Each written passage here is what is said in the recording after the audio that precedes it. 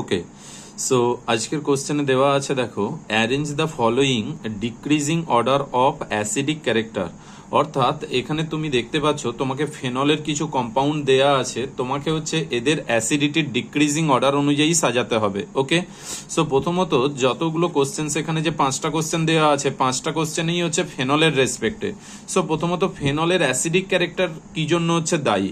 তুমি যদি ফেনলকে হচ্ছে দেখো, তাহলে ফেনলের ক্ষেত্রে আমরা জানি এখানে হচ্ছে যে ও এইচটা রয়েছে, এখান থেকে এ যদি হাইড্রোজেন রিলিজ করে, তাহলে এখান থেকে তৈরি হয় ও মাইনাস যেটাকে বলা হয় ফেনক্সাইড আয়ন। এই যে ফেনক্সাইড আয়নের এবার তোমার রেজোনেন্স স্টেবিলিটির জন্য তাহলে আমরা কি বলতে পারি? না, এর অ্যাসিডিক মিনস এই হাইড্রোজেনকে রিলিজ করার টেন্ডেন্সি তোমার হচ্ছে বেশি, কারণ এই ফেনক্সাইড আয়নের হচ্ছে রেজোনেন্স স্টেবিলিটি আছে। তাহলে আমরা এবার বলতে পারি যে এর যে অ্যাসিডিটির ইনক্রিজিং অর্ডার বা ডিক্রিজিং অর্ডার যাই বলুক না কেন, তাহলে অ্যাসিডিটির জন্য দায়ী কে? তাহলে আমি যদি, আমি বুঝতেই পারছি, এখানে এই বনটা ব্রেক হচ্ছে ব্রেক হয়ে অক্সিজেনের উপর নেগেটিভ চার্জ আমি যদি কোনো কারণে এই নেগেটিভ চার্জের ডেন্সিটিকে ডিক্রিজ করে দিতে পারি অক্সিজেনের উপর থেকে, তাহলে বলতে পারি তাহলে অ্যাসিডিটি বাড়বে। কারণ এখানে নেগেটিভ চার্জ ডেন্সিটি যদি ডিক্রিজ হয়, তাহলে এর তো হাইড্রোজেনকে এইচ প্লাসকে নেওয়ার ক্ষমতা কমে যাবে। তখন তার হচ্ছে কি হবে? এইচ প্লাসের কনসেন্ট্রেশন সলিউশনে বেড়ে যাবে, তখন অ্যাসিডিটি বাড়বে। তার মানে আমি যদি ফেনলের সাথে কোন রকম ইলেকট্রন উইথড্রয়িং গ্রুপ যদি অ্যাড করে দিই, তাহলে মানে কি করবে? ইলেকট্রন উইথড্র করে নেবে। অর্থাৎ এই নেগেটিভ চার্জ নিজের দিকে টেনে নেবে, তাহলে এখানে নেগেটিভ চার্জ ডেন্সিটি কমে যাবে। তখন ইলেকট্রন উইথড্রয়িং কি করবে? অ্যাসিডিটিকে বাড়িয়ে দেবে। আর আমি যদি এখানে ইলেকট্রন ডোনেটিং গ্রুপ দিই, তখন অ্যাসিডিটিকে কি করবে? তাহলে হচ্ছে কমিয়ে দেবে। তাহলে প্রথম কোশ্চেনে যেটা তোমার দেওয়া আছে, দেখো ফার্স্ট কোশ্চেনে আমাদেরকে কি দেওয়া আছে? না, প্রথম কোশ্চেনে দেওয়া আছে, এখানে তোমার হচ্ছে ফেনল ফেনলের এর রেসপেক্টে দেখো এখানে ক্লোরিন আছে। সো আমাদের, আমরা জানি এই যে ক্লোরিনটা ক্লোরিনের যদিও লোন পেয়ার থাকে, কিন্তু ক্লোরিনের সাইজ বড় হওয়ার জন্য আর কার্বনের সাইজের সাথে মিসম্যাচ এই ম্যাচ না হওয়ার জন্য এখানে ক্লোরিনের যে লোন পেয়ার সেটা রেজোনেন্সে পার্টিসিপেট করতে পারে না। তার জন্য এর ইলেকট্রোনেগেটিভিটির জন্য এর minus I effect plus R এফেক্টের থেকে হচ্ছে বেশি হয়।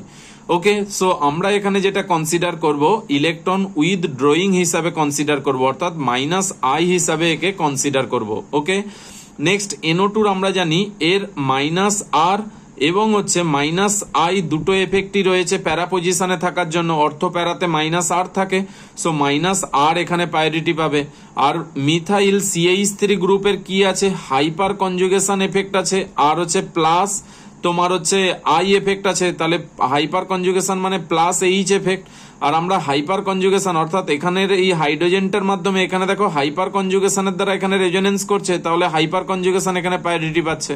আর অক্সিজেনের উপর দেখো লোন পেয়ার আছে, তাহলে লোন পেয়ার দিয়ে এখানে কি করতে পারে? প্লাস আর হতে পারে রেজোনেন্স আর অক্সিজেনের ইলেকট্রোনেগেটিভিটির জন্য মাইনাস আই শো করতে পারে, আমরা মাইনাস প্লাস আর কে এখানে প্রায়োরিটি দেব ওকে সো তাহলে তুমি যদি দেখো, সব এখানে মাইনাস আর যুক্ত গ্রুপ একটাই রয়েছে, সেইটা হচ্ছে এনও টু তার মানে সব থেকে বেশি অ্যাসিডিক কার হয়ে যাবে? সি এর, অর্থাৎ প্যারানাইট্রোফেনলের ওকে নেক্সট এরপরে দেখো মাইনাস আর এখানে কেউ নেই, তারপরে দেখো মাইনাস আই আছে কে আছে ক্লোরো ক্লোরিনের ক্ষেত্রে, তাহলে এর পরে অ্যাসিডিটি কার হয়ে যাবে? বি হয়ে যাবে।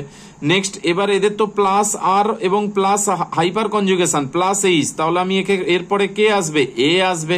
কারণ এরা ডিক্রিজ করে দিচ্ছে। তারপরে দেখো মাইনা প্লাস আর এফেক্ট আর হাইপার কনজুগেশন এফেক্ট কার এফেক্টের এফেক্টটা বেশি? রেজোনেন্সের এফেক্ট তাহলে এখানে বেশি ডিক্রিজ হবে আর এখানে কম ডিক্রিজ হবে। তাহলে এখানে অ্যাসিডিটি কম ডিক্রিজ মানে এর পরের অ্যাসিডিটি কে হবে? ডি তারপরে অ্যাসিডিটি হবে ই, যেমন মাইনাস আর এফেক্টের দ্বারা সব থেকে বেশি ইলেকট্রন ডেন্সিটি এখান থেকে টেনে নেবে সব থেকে অ্যাসিডিটি বাড়িয়ে দেবে, তেমনি প্লাস আর এফেক্টের দ্বারা সব থেকে বেশি ইলেকট্রন ডোনেট করবে, এখানে ওর অ্যাসিডিটি সব থেকে কম হবে, ওকে? সো তাহলে একের কারেক্ট আনসার হয়ে গেল A, C, greater than B, greater than A, greater than D, greater than E, okay? Next next হচ্ছে question number two. Question number টুতে যদি দেখো, তোমাকে হচ্ছে বিআর ব্রোমিন দেয়া আছে। তাহলে তুমি যেখানে দেখছ যে ক্লোরিন এর ক্ষেত্রে ক্লোরিন যেহেতু এখানে দেখো, তোমার মাইনাস আই এফেক্ট শো করছে, কারণ এর সাইজের মিসম্যাচের জন্য তাহলে তুমি অবভিয়াসলি ব্রোমিনের ক্ষেত্রে তো প্লাস আর এর কোনো গল্পই নেই। যদিও এর লোন পেয়ার আছে, কিন্তু এখানে তো প্লাস আর হতে পারে না। তার মানে ব্রোমিনের ক্ষেত্রে শুধু খালি কি এফেক্ট দেখাবে? মাইনাস আই তাহলে এখানেও মাইনাস আই আর এখানেও মাইনাস আই এবার মাইনাস আই সেটা আমরা তো জানি যে ইন্ডাকটিভ এফেক্ট এটা কার? মানে পজিশন পজিশন অর্থাৎ হচ্ছে ডিস্টেন্সের উপর হচ্ছে ডিপেন্ড করে ডিস্টেন্সের উপর। তাহলে যত কাছে থাকবে মানে এখান থেকে তো O minus plus H plus তাহলে যত বেশি মাইনাস আই এফেক্টের জন্য আমরা অ্যাসিডিটি বেড়ে যাবে, তাহলে যত কাছে থাকবে, তত তার অ্যাসিডিটি বাড়বে। তার মানে সব থেকে বেশি অ্যাসিডিক কোনটা হবে? বি হয়ে যাবে। তাহলে মোস্ট অ্যাসিডিক এদের মধ্যে হয়ে গেল হচ্ছে বি দেন তারপরে দেখো তোমার হচ্ছে মেটা পজিশন তাহলে বি এর পর হবে সি সি এর পর হবে তোমার হচ্ছে ডি দেন হবে এ তাহলে মাইনাস আই এফেক্ট কি? যত ডিস্টেন্স বাড়বে, তত মাইনাস আই এফেক্ট কমবে। তাহলে সব থেকে ও ইচ এর কাছে আছে অর্থ পজিশন সেই জন্য এর অ্যাসিডিটি সব থেকে বেশি। দেন হচ্ছে সি দেন হচ্ছে ডি অ্যান্ড দেন হচ্ছে এ ওকে নেক্সট নেক্সট হচ্ছে question number three question number থ্রিতে দেখো, এখানে তোমাকে মিথাইলের রেসপেক্ট দেওয়া আছে। সো কোশ্চেন নাম্বার থ্রিতে মিথাইলের রেসপেক্টে মিথাইলের কি এফেক্ট আছে? আমরা একটু আগেই দেখলাম, মিথাইলের কি?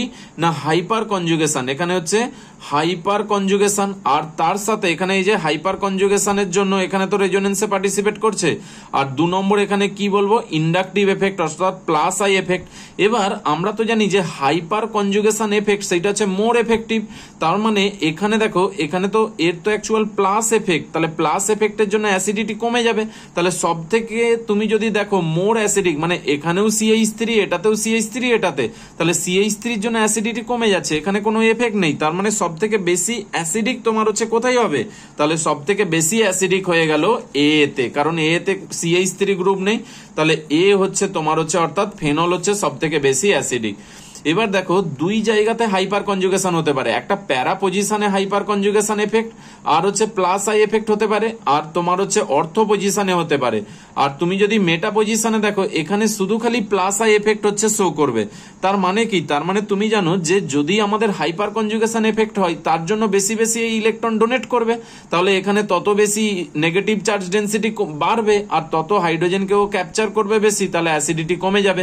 তাহলে এর পরে তোমার হাইপার কনজুগেশন কার নেই, না মেটা পজিশনে নেই, তার মানে মেটা পজিশনে শুধু প্লাস আই এফেক্ট থাকার জন্য এর পরে হয়ে যাবে সি সি এর পরে এবার দেখো এরও হাইপার কনজুগেশন আছে এরও হাইপার কনজুগেশন আছে।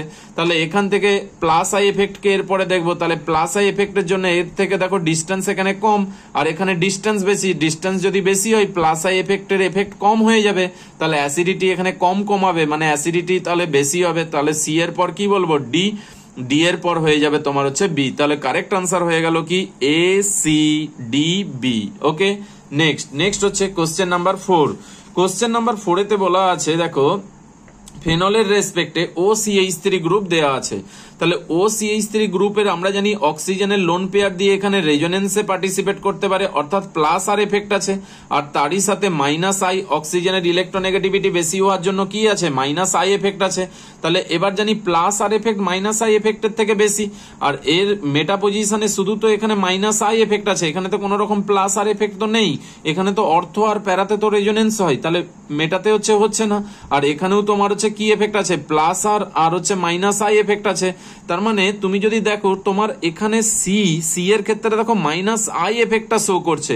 তার মানে যদি তুমি বলো, এর ক্ষেত্রে সব থেকে মোস্ট অ্যাসিডিক কোনটা হয়ে যাবে? তোমার হচ্ছে সি হয়ে যাবে, কারণ এখানে কোনো রকম প্লাস আর এফেক্ট নেই। এখানে মাইনাস আই এফেক্ট অনলি রয়েছে, তাহলে সি হচ্ছে সব থেকে বেশি অ্যাসিডিক এরপরে তুমি দেখো, এদের প্রত্যেকটার ক্ষেত্রে প্লাস আর প্লাস আর, এরপরে কে হবে, তোমার হচ্ছে এ হয়ে যাবে।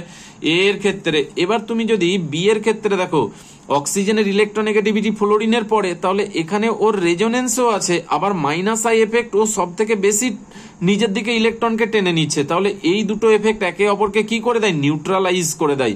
এর ইলেকট্রোনেগেটিভিটি অনেক বেশি হয়ে যাওয়ার জন্য এর রেজোনেন্স এফেক্টকে এ কি করে দেয়? নিউট্রালাইজ করে দেয়। তার জন্য এর সাথে নিয়ার অ্যাবাউট বি এর অ্যাসিডিটি সেম হয়ে যায়, বা এর স্লাইডলি বেশি বি এর থেকে। আর তারপরে তোমার হচ্ছে কে পড়ে থাকে? ডি। তার মানে কারেক্ট আনসার হয়ে গেল কি? সি এ বি ডি অথবা C A equals to B greater than D okay next next হচ্ছে last question question number five question number ফাইভে দেখো দেওয়া আছে, তোমার হচ্ছে ফেনল ফেনলের অর্থ পজিশনে তোমার হচ্ছে এনও টু প্যারা পজিশনে এনও টু আর মেটা পজিশনে তাহলে অর্থ পজিশনে এনও টু মানে এখানে কি? মাইনাস আর এফেক্ট আছে মাইনাস আই এফেক্ট আছে। এখানে অনলি মাইনাস আই এফেক্ট আছে আর এখানে মাইনাস আর অ্যান্ড হচ্ছে মাইনাস আই এফেক্ট আছে। এবার তুমি জানো যে অর্থ পজিশনে যে এনও টুটা রয়েছে, তার ক্ষেত্রে কি হয়? না, অর্থ পজিশনে যদিও এখানে মাইনাস আই এফেক্ট আছে, কিন্তু এই এনও টু গ্রুপের সাথে তোমার দেখো এই এই ধরনের তোমার হচ্ছে একটা কি হাই মানে হাইড্রোজেন বন্ডিং হতে পারে। তাহলে ও মাইনাসের সাথে এই হাইড্রোজেনের কি হয়? হাইড্রোজেন বন্ডিং সেই জন্য আমরা সেই পড়েছিলাম, মনে করে দেখো, তোমার হচ্ছে কি অর্থনাইট্রোফেনল যার মধ্যে তোমার হচ্ছে কি থাকে? Intramolecular intramolecular hydrogen bonding থাকে, তাহলে ইন্ট্রামলিকুলার হাইড্রোজেন বন্ডিং এর থেকে, যদিও তুমি বলতে পারো যে এর মাইনাস আর এফেক্ট এখানেও মাইনাস আর এফেক্ট তাহলে মাইনাস আর এফেক্ট ও ডিস্টেন্সের উপর ডিপেন্ড করে না। তারপরেই চলে আসছে মাইনাস আই তাহলে মাইনাস আই অনুযায়ী আমি বলতে পারি এর মাইনাস আই এফেক্ট বেশি, তার মানে এ বি এর অ্যাসিডিটি সব থেকে বেশি হওয়ার কথা, কিন্তু বি এর অ্যাসিডিটি সব থেকে বেশি হয় না। কারণ কি? কারণ এই হাই এই হাইড্রোজেন বন্ডিং এর জন্য এই হাইড্রোজেনকে এর ছাড়ার ক্ষমতা কি হয়ে যায়? কমে যায়। তার জন্য সব থেকে বেশি অ্যাসিডিক কে হয়ে যায়? ডি হয়ে যায়। তাহলে ডি হচ্ছে সব থেকে বেশি অ্যাসিডিক দেন এরপরে মাইনাস আর এফেক্টের জন্য বি হয়। যদি এখানে হাইড্রোজেন বন্ডিং থাকে, কিন্তু মাইনাস আর এফেক্টের জন্য বি এর অ্যাসিডিটি দেন হচ্ছে বেশি হয়। তারপরে হয় তোমার হচ্ছে সি আর তারপরে হয় তোমার হচ্ছে এ তাহলে অ্যাসিডিটি হয়ে গেল D B C A okay thank you